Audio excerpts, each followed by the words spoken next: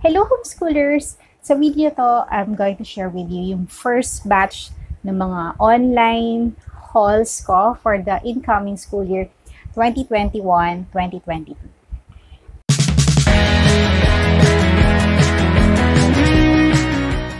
So, isa sa mga unang binili ko ay ang Parkwood Play School Junior Box. So, this is for ages 2 and 3 year old. So, meron ako separate video ng unboxing nito. Just check it out. Lalagay ko na sa description box yung link. Konti lang itong mga binili ko kasi first batch pa lang naman. So, eventually, in the next few weeks, I'll be sharing with you other things that I have bought online. So, eto naman yung mga next na binili ko. These are from Shopee. Uh, ito ay ang mga clear plastic organizers. So, hindi ba ginagawa nila for stationery, for pens. But for me, I bought two sizes, yung big and then yung small, para to sa organization ng mga materials namin like these. Uh, ito ay mga matching cards. Yan. So, yung mga maliliit, ito ko sa maliit nilagay. Tulad nito. Uh, ito, I believe 30 pesos or 35 pesos. Lagay ko na lang yung link sa baba. And then yung big one, like this, this is 40 pesos. Meron may ibang um, sellers na nagbebenta na merong pangalan ng bata dito sa labas. Uh, but I chose yung pinakamura, so this one. And dito ko naman nilalagay yung mga flashcards, yung materials na mas malalaki na hindi kakasya din sa small box namin. And then this coming school year, ang plan ko is not to get all the textbooks coming from the homeschool provider.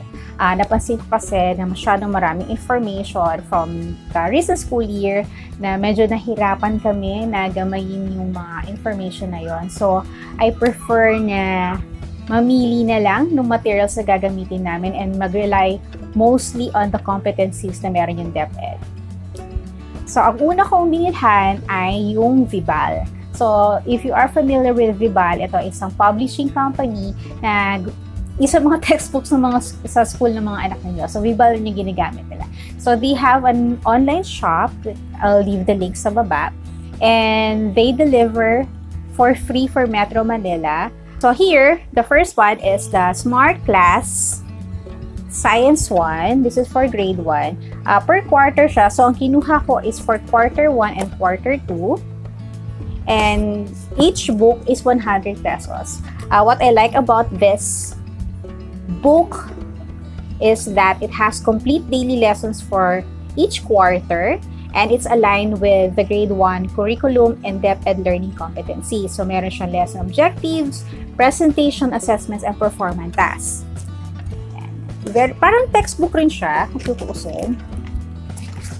But, uh, the, I think the only difference is nakalagay na dito kung anong araw mo siya gagawin may nakalagay na, dito niya module and yung module duration. Like for example, itong module na to, it's for one week. So you are going to complete these lessons in one week. Very colorful rin yung mga illustrations niya. Maganda naman yung papel.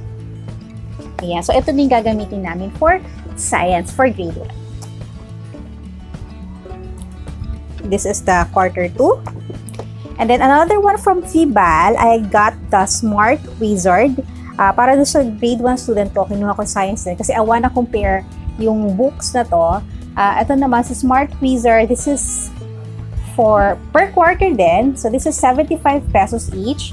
Uh, meron siyang drills, exercises, activity sheets, meron din performance, performance tasks, values integration, parents guide, flashcards, flashcards, visual aids. So it is also aligned with the K-12 curriculum. Uh, Activities in Smart Wizard are made more interactive with the use of augmented reality or Vibal's Learn Live AR. So, hindi ko pa natatry yung AR nila.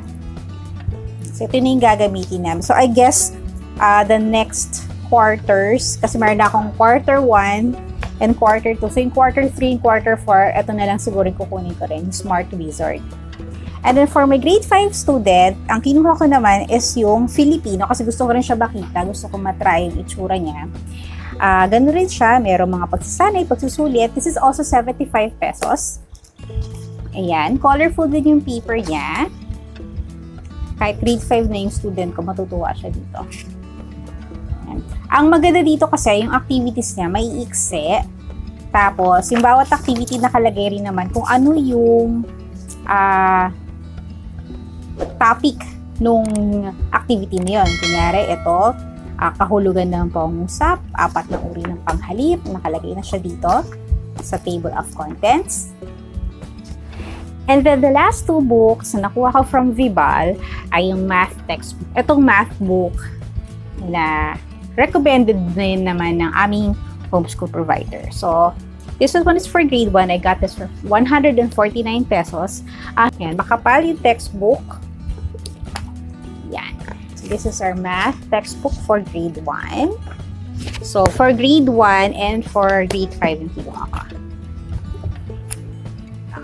Mas malito syempre yung mga font pagdating sa grade 5.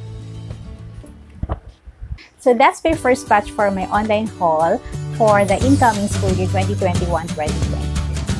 Kapag meron pa akong mga next haul, I'll just have another video for them. Maraming salamat ulit sa pagsama sa akin and I'll see you in our next video. Happy homeschooling!